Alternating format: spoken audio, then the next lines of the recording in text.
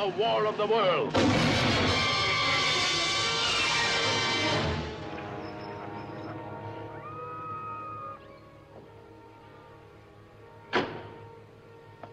I got a message for you. You're the guys from Pacific Tech, ain't you? Right? Looks like the fishing was good. Have some. Well, I might just do that. It's about that meteor. Say it's a whopper. The district officer phoned us at the lookout up in the summit. I thought you might be interested.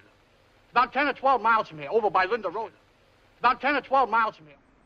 About 10